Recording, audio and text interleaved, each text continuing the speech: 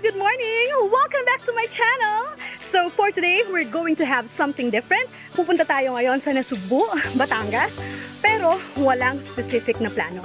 This is more of uh, an impromptu travel compared dun sa mga dati na namin naging travel in the past. Day trip lang, kagabi lang kami nag-decide na pupunta kami ngayon sa Barangay Papaya or sa Papaya Cove and to figure out namin lahat on the spot. Okay? So, tiwala lang tayo sa ating mga diskarte and sa mga lokal. So, see you later. Dito kayo. Bye!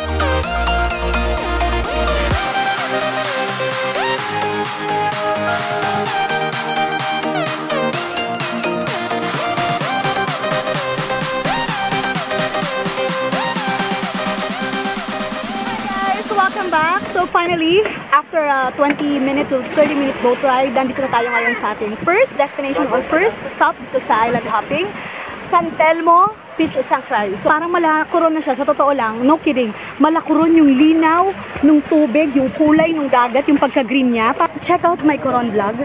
Makikita nyo, hindi nalalayo yung itsura. Parang tayo ditong mga corals. Siguro not as colorful as yung nandun sa Coron. Pero not bad. This is good enough marami mga isda. May mga scholar fishes na mag-aagawan sa pagbabato mo ng dinapay.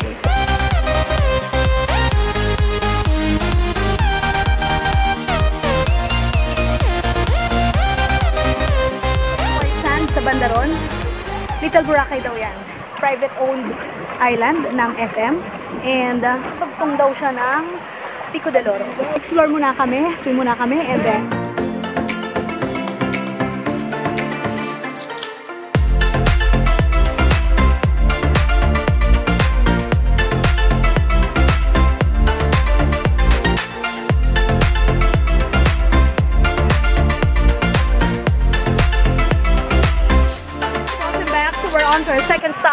tayo ngayon sa Rock Formation, cliff diving spot nila. And as you can see, andito yung mga lokal, mga batang lokal. Yung diving sila. For real. Oh, ayan guys, so ang gagaling. So, mano-mano yung pag-akyat sa mga rocks. Kamay lang talaga at wala sila kahit anong equipment. And then, kung hanggang saan yung pinakamataas na kaya nila, from there, tatalo na sila on the spot. Ganun-ganun lang guys. Walang kahit anong suot na best gaya namin. Diba? Sa kataon lang na maaalon daw ngayon dahil nga kababagyo lang. Pero on a regular day, pwede tayong pumunta doon. Kung sakali, papasok ka doon sa pinakailalim kasi lagusan yan, tagus-tagusan niya doon sa kabila. Kasi nga, syempre island to, di ba? Sa kabilang side ng island. So, ang ganda, interesting sana. May element ng adrenaline rush. Ah, meron ding activity ng ah, ah, rock climbing. And then, merong cliff diving.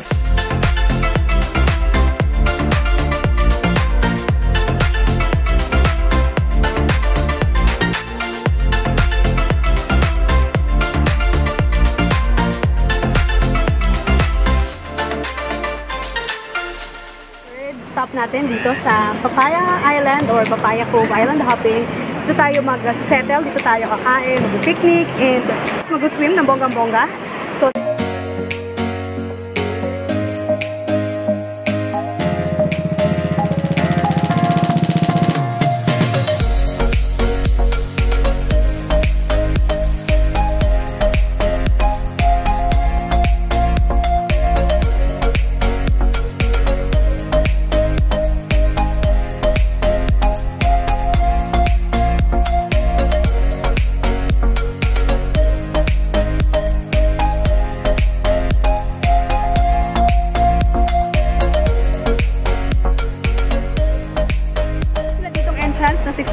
for day tour and 120 for uh, overnight.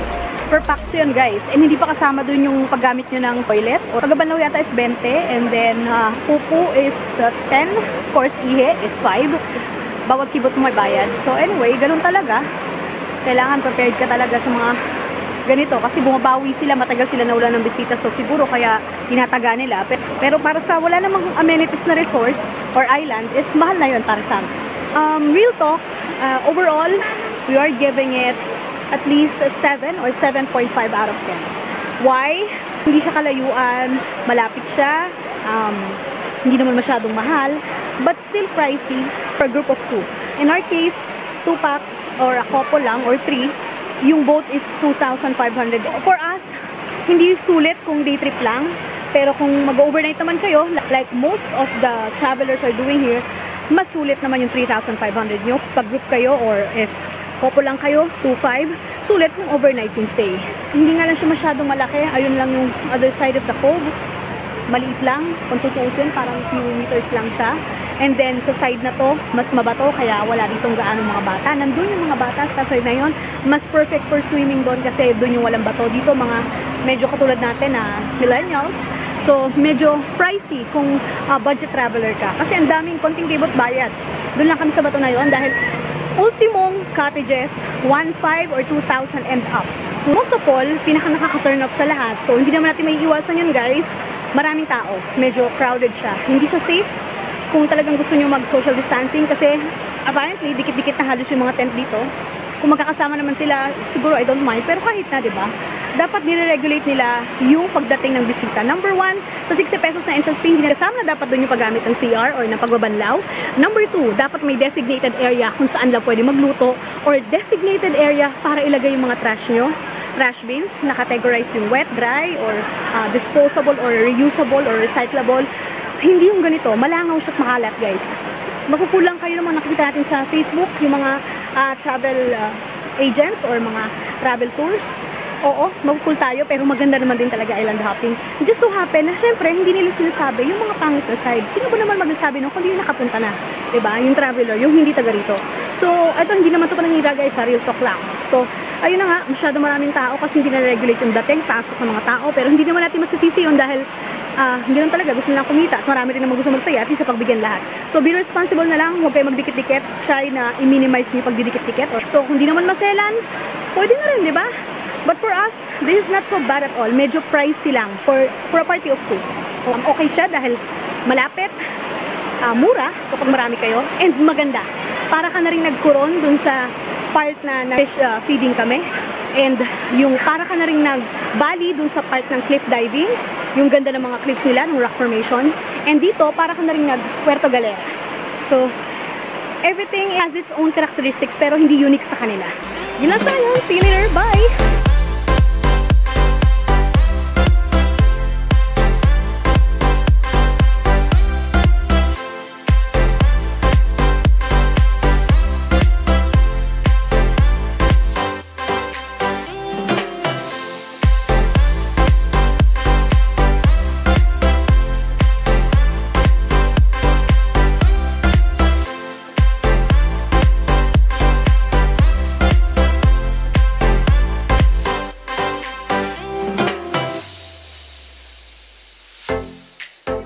Area kung saan mas pino ang buhangin. Apparently, yung side na yon is ma-pebbles talaga.